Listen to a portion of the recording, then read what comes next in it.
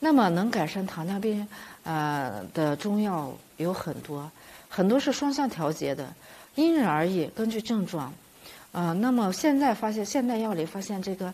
呃，可以降改善血糖的中药非常多。首先是益气的中药，有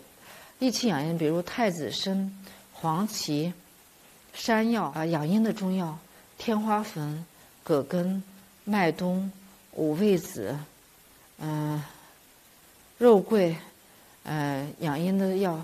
呃，地黄、生地、熟地、山芋肉。嗯，还有荔枝核、桑叶，嗯，等等，还有丹参、湿护，啊，就是我们的铁皮湿护，还有黄金，嗯，都可以，呃，有降血糖的作用。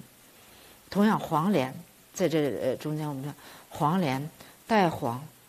嗯，黄连。现在有黄连小波碱这个说法，它可以改善、清理肠道湿热，抑制肠道菌群的发生，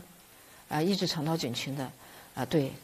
那个肠道一些呃那个食物的分解，从而达到一个降糖的目的。大剂量的黄芩降血糖效果还是比较肯定的。黄芪同样也是双向调节，大量的黄芪有呃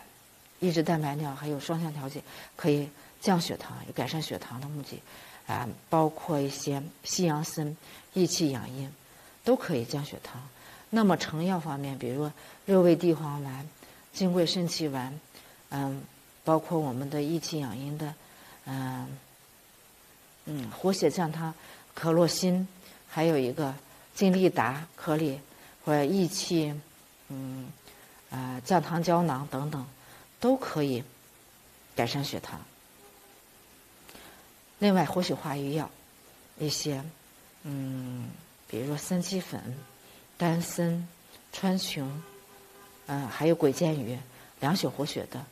呃，也都有适当的改善血粘度，从而达到降糖的目的。